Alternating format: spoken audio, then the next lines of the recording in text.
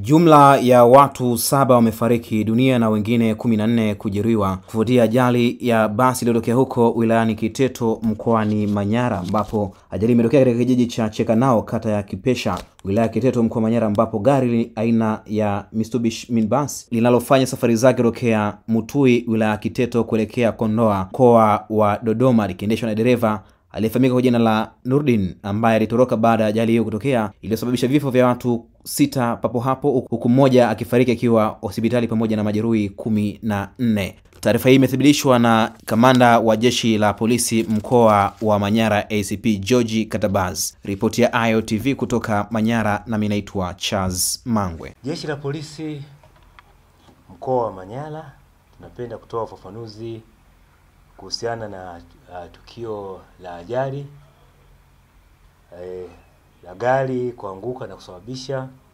vifo, majeruhi na uharibifu wa, wa mali yani gari.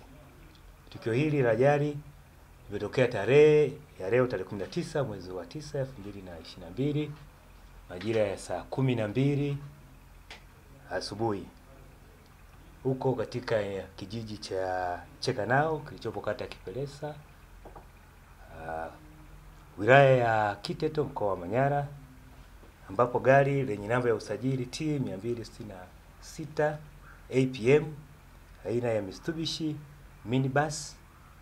Gari hili linafanya safari zake kutoka Matui wilaya ya Kiteto kuelekea Kondoa wilaya ya wilaya iliyopo mkoa wa Dodoma likiendeshwa na dreva aliyefahamika kwa jina moja tu la Nurdin. Huyu uh, ni dereva wa kiume ambaye alitoroka mara baada ya ajali kutokea.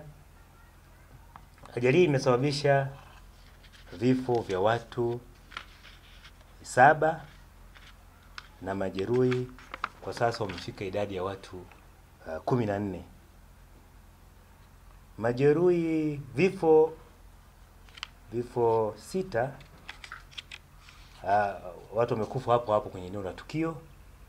Mwingine amekuja kuongezeka wa saba baada ya kuendelea matibabu na kufariki akiwa hospitalini.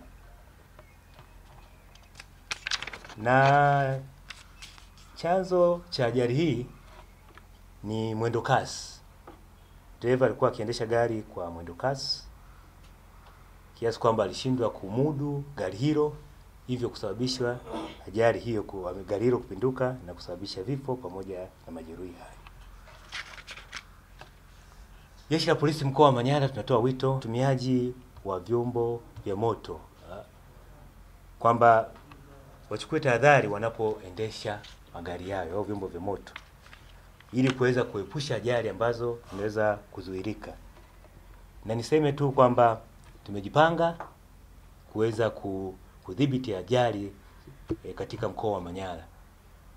Uh, tutakuwa na mwali, tutachukua hatua kali kwa wote ambao watahusika na kutozingatia sheria za usalama barabarani.